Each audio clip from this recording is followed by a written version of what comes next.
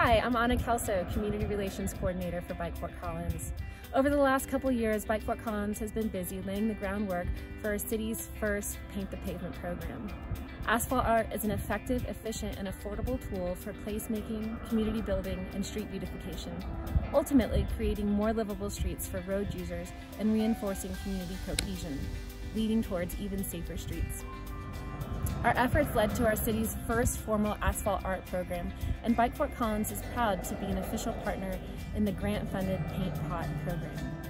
On behalf of everyone at Bike Fort Collins, we thank you for your support in our efforts to make Fort Collins even more bicycle friendly.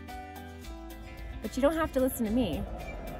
My name's Addison, and what this mirror means to me is happiness because I help paint this.